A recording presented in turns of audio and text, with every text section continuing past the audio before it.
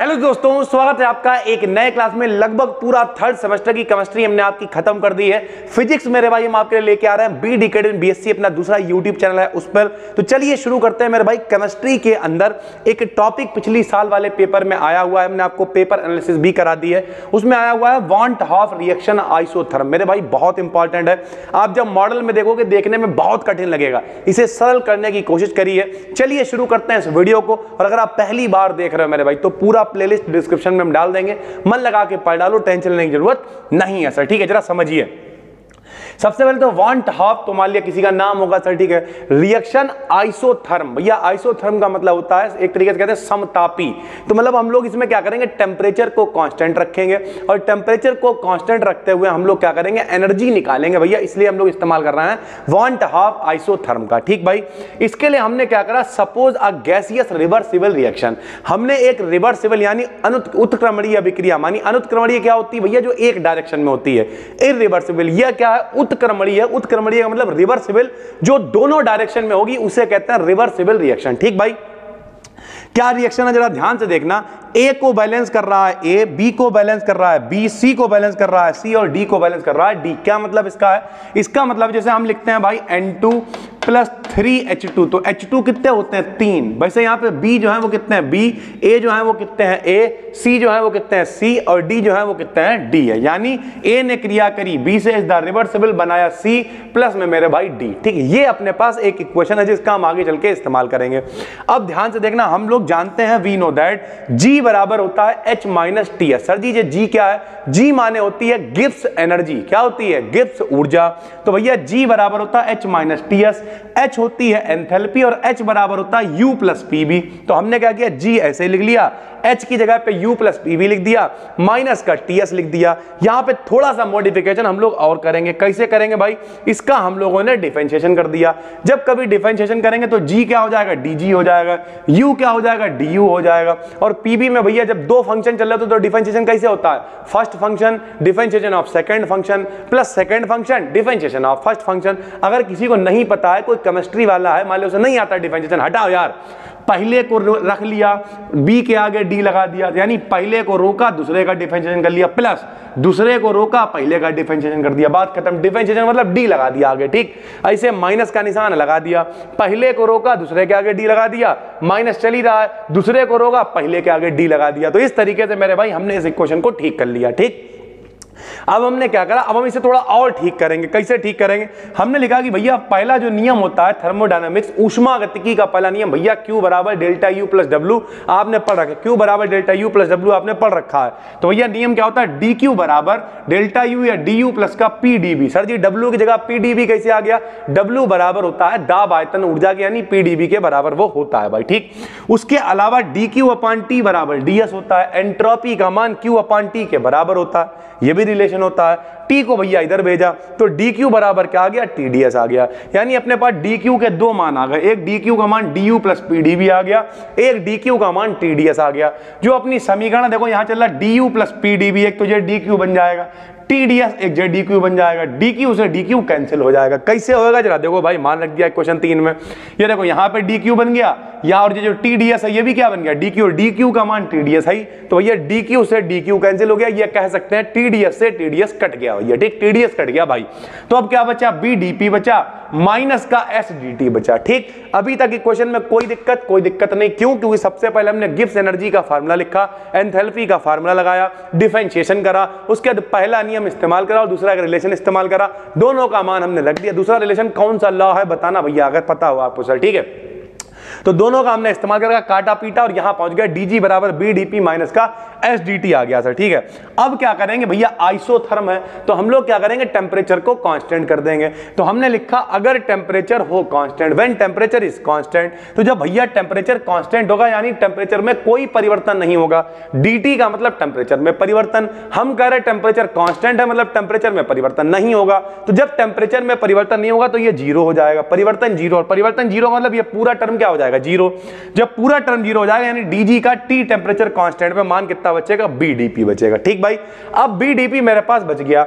हम लोगों ने गैस समीकरण पड़ी हुई है। क्या समीकरण होती है बताओ? पीबी बराबर आर क्या होती है? बोला करो यार भाई साथ में। पीवी बराबर क्या होती? भाई आर होती तो बी का मान कितना आ जाएगा? आर बटे में पी आ जाएगा।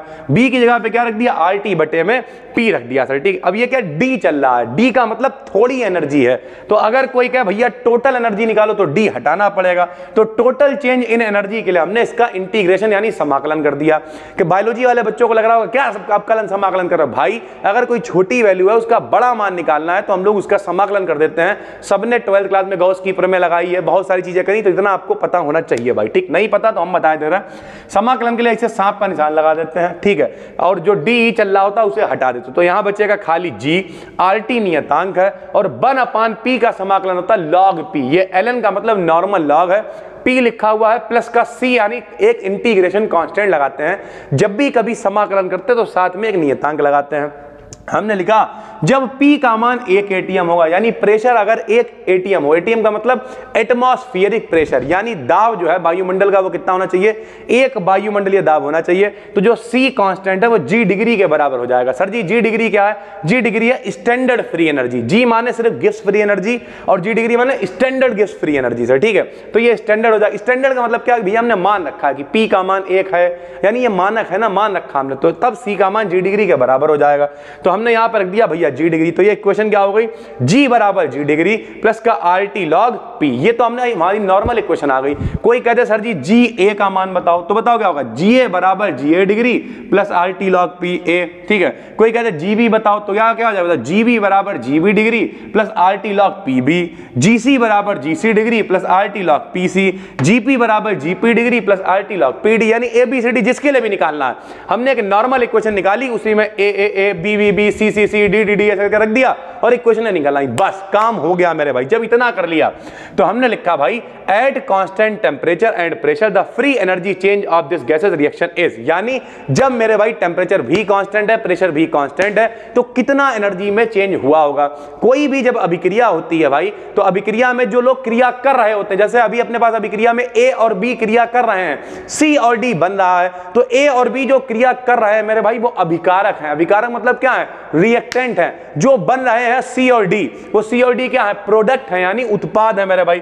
तो अगर हमें निकालें टी और पी का मतलब क्या है? टीपी का मतलब है टेम्परेचर और प्रेशर कांस्टेंट है। जी का मतलब गिफ्ट एनर्जी है। तो कांस्टेंट टेम्परेचर प्रेशर पे गिफ्ट एनर्जी कितनी होगी भाई? हमने लिखा जी बार प्रोडक्ट यानी प्रोडक्ट वाली जो एनर्जी है जी डिग्री उसमें से हम लोग घटा देंगे जी रिएक्टेंट वाले को, यानी उत्पाद वाले, यानी जितना बना है, उसमें से जिससे बनाया है, उसे घटा देंगे भाई। कैसे घटाएँगे? जरा देखो। तो प्रोडक्ट क्या है भाई? प्रोडक्ट है सीजी अब जरा ध्यान से समझना प्रोडक्ट में देखो क्या क्या चल रहा है। प्रोडक्ट में भैया चल रहा है, कहाँ गया कहाँ गया कहाँ गया? पहली अपनी क्वेश्चन कहाँ गई भाई? ये है देखो प्रोडक्ट में क्या चल रहा है? सी है और डी है। सी के संग में सी चल रहा है डी के संग में भैया डी चल रहा है। ठीक, देखना तो क्या करने वाले हम लोग? ध्यान से देखना भैया। तो यहाँ पे हम लोग रखने वाले हैं मान। कहाँ गया कहाँ गया कहाँ गया? यहाँ आ गया, सर, ठीक है? तो बताओ प्रोडक्ट कौन है? सी प्रोडक्ट है और डी प्रोडक्ट है। तो हमने जीसी और जीडी को जोड़ दिया। सी और डी से गुणा क्यों करी? क्योंकि इतना उनका मान चल रहा है। दो तीन, चार, जो चल रहा है वो रखेंगे। प्रोडक्ट वाली एनर्जी में से हमें घटानी है कौन सी एनर्जी रिएक्टेंट वाली एनर्जी घटानी। रिएक्टेंट कौन कौन है? ए है और बी है। तो जी ए प्लस जी बी रख दिया, इसकी ए की ए से गुणा कर दी बी की बी से, क्योंकि उतने वो हैं भाई, ठीक? अब देखो जीसी का मान ये निकाला हमने जी ए जी बी जी सी जी डी का मान निकाल रखा है, सारे मान रख देंगे। जीसी का मान रख दिया, ठीक डी बाहर चल रहा जी डी का मान रख दिया माइनस लगाया जी ए का मान रख दिया और जी बी का मान रख दिया, ठीक। अब क्या करेंगे, कुछ चीज़ें हमारे पास कॉमन है, उन्हें कॉमन निकाल लेंगे। देखो भैया जीसी का मान, अब देखो यहाँ पे जितना भी अपने पास डिग्री वाला आइटम है, उसे एक तरफ़ कर लेंगे। तो देखो सी की गुणा इससे होगी तो आ गई C G C degree D G D degree तो यहाँ पे देखो डिग्री वाला आइटम एक तरफ़ कर लिया आर टी कॉमन लेके आइटम एक तरफ़ कर लिया। ऐसे भैया डिग्री वाला आइटम ए भी एक तरफ़ कर लिया आर टी कॉमन लेके आइटम एक तरफ़ कर लिया। अब आपको पता होना चाहिए भैया log M plus log N जो होता है, वो लॉग एम गुण एन होता है। Log M plus N log M गुण एन होता है। और जब दो लॉग मिल जाते हैं भैया लॉग एम और यहाँ पे माइनस लगाओ माइनस लॉग एन तो वो लॉग एम अपॉन एन हो जाता है। तो पहले तो इस लॉग में ये दोनों मिलके एक हो जाएँगे, ये दोनों मिलके एक हो जाएँगे। फिर जब ये वाला जो एक हुआ ये वाला जो एक हुआ, ये माइनस में चल रहा तो ये बटे में आ जाएगा। तो देखो भैया, क्या बचा? अपने पास बचा C G C degree plus D G D degree minus का जो भी बचा हुआ, अपने पास ए बी वो। और आर टी बचा और लॉग ऊपर वाला मिलके एक हुआ, नीचे वाला मिलके एक हुआ, फिर दोनों मिलके एक हुआ क्योंकि माइनस था तो भैया बटे में आ गया। पीसी की पावर सी पीडी की power D upon P A की power A into P B की पावर बी अगर हम लोग इसे सही से लिखें भाई तो ये क्या है? बताओ, ये क्या है बताओ? ये सी जी जो भी नोटंकी लिखी हुई है जैसे क्या ये प्रोडक्ट की एनर्जी है। ये क्या है? ये रिएक्टेंट की एनर्जी प्रोडक्ट में से रिएक्टेंट की एनर्जी घटाएँगे तो उसे लिख देंगे भैया डेल्टा जी डिग्री। ये डेल्टा जी डिग्री का मान हो जाएगा। टेम्परेचर प्रेशर कॉन्स्टेंट है भाई, ठीक? ये अपनी इक्वेशन नंबर आ गई तेरह। अब हमने लिखा कि भैया जब कभी भी कॉन्स्टेंट टेम्परेचर और प्रेशर होता है तो जो जीटीपी का मान होता है, वो ज़ीरो होता है। यानी टोटल जो फ्री एनर्जी का चेंज होता है, वो ज़ीरो होता है। तो हम इधर वाली जो जीटीपी इसे रख देंगे ज़ीरो ज़ीरो रखा तो खाली, ये डिग्री वाला आइटम बचा। R T log K P बचा। अब के पी कहाँ से आ गया भैया? पी सी की power C into P D की power D upon P A की power A into P B की पावर बी क्या बन गया? के पी बन गया। जो यहाँ चल रहा था, इसे के पी बना दिया। क्यों? लॉ ऑफ़ मास एक्शन द्रव्य अनुपाती क्रिया का नियम कहता है, जो लोग इक्वेशन में बाद में लिखे हैं, उन्हें ऊपर लिख दो। देखो सी और डी बाद में थे इक्वेशन में तो उसे ऊपर लिख दो। जो पहले लिखे हैं, उन्हें नीचे लिख दो। जो गुणे में है, उन्हें पावर में लिख दो। तो सी और डी बाद में थे, उनके प्रेशर को ऊपर लिख दिया। ए और बी पहले थे, उनके प्रेशर को नीचे लिख दिया, उनके गुणे में ए बी सी डी चल रहा था, उन्हें पावर में लिख दिया। तब भैया जो बन जाएगा केपी जिसे साम स्थिरांक या दाब स्थिरांक कहेंगे मेरे भाई, ठीक है? तो दाब स्थिरांक बना तो इसकी जगह पे केपी रख दिया मेरे भाई, जो मान हमारे पास चल रहा था। तो डेल्टा जी डिग्री टीपी का मान कितना आ गया? R T log P minus में, ठीक? ये एक मान आ गया। इस मान को दोबारा से उठा के भैया क्वेश्चन तेरह में रख देंगे। जीटीपी ऐसे ही चलेगा। इसका मान हमने निकाल लिया तो इसका मान रख देंगे। देखो, इसका हमने मान रख दिया माइनस का R T log P plus में आर टी जो पूरा चल रहा था, वैसे उतार दिया। ये होगा इक्वेशन नंबर 15 तो जो इक्वेशन नंबर 14 है, जिसमें हमने डेल्टा जी डिग्री का मान निकाला है इक्वेशन नंबर 15 जिसमें हमने मान रख के नई इक्वेशन बनाई है, ये, यही दोनों कहलाते हैं वांट हाफ़ रिएक्शन आइसोथर्म इनकी सहायता से हम एनर्जी को कैलकुलेट कर सकते हैं। कंडीशन है टेम्परेचर मेरे भाई कॉन्स्टेंट है और प्रेशर भी हमने एक स्टैंडर्ड मान रखा है। ठीक है? तो उम्मीद करते हैं थोड़ी सी वीडियो शायद बड़ी हो गई हो, समझाने में कोशिश की है बिल्कुल आसान रखने की। नए हो तो चैनल को सब्सक्राइब करो। इसी तरीके की बिल्कुल आसान आसान वीडियोस आपके लिए लाते रहते हैं। पूरी चीज़ें हमने डिटेल में प्लेलिस्ट में पढ़ाई हुई हैं। उसके अलावा अपने और भी चैनल है, जैसे B decade B S C पे फिजिक्स आपके लिए लेके आ रहे हैं। कल हमने आपके लिए बनाया था हीलियम नियॉन लेजर जिन्हें देखा हो कमेंट करना जोन प्लेट बना दी है। सारे लॉन्ग के क्वेश्चन है मेरे भाई, ठीक है? तो मोस्ट इंपॉर्टेंट है, मन लगा के पढ़ते रहिए। अगर आप सारी चीज़ें डिटेल में चाह रहे हैं कि हम भाई पीडीएफ वीडियो नहीं ढूंढना चाह रहे हैं तो आप एप्लीकेशन बी डिकेडन को डाउनलोड कर सकते हैं। एक कम्युनिटी है जहाँ पर सारी पीडीएफ सारी वीडियोस आपको एक जगह पर मिल जाएँगी। और वरना इसकी ये पीडीएफ आपको टेलीग्राम बी बीएससी चैनल पर भी मिल जाएगी। टेलीग्राम पर जाइए सर्च करिए बी डिकेडन बीएससी कुछ पीडीएफ शायद कभी कभी रह जाती हैं तो टेंशन नहीं लेना है नीचे कमेंट कर दिया करो, सर जी ये ये टॉपिक की पीडीएफ रह गई है। आपको अगले दिन तक पीडीएफ मिल जाएगी, सर। ठीक है, हम मिलते हैं आपसे एक और वीडियो में, तब तक के लिए धन्यवाद। थैंक यू और अगर पहली बार देख रहे हो तो जो डिस्क्रिप्शन में प्लेलिस्ट है, देख डालो पूरी अंधाधुन। और थोड़ा बहुत पैसा है तो जाके एप्लीकेशन को डाउनलोड कर लो, वहाँ पे जाके देख डालो, बस देख डालो, पढ़ो मन लगा के। चलिए, सर थैंक यू इंस्टाग्राम पे वीडियो को फॉलो करो, वहाँ पे अपडेट मिलती रहेगी। चलिए, सर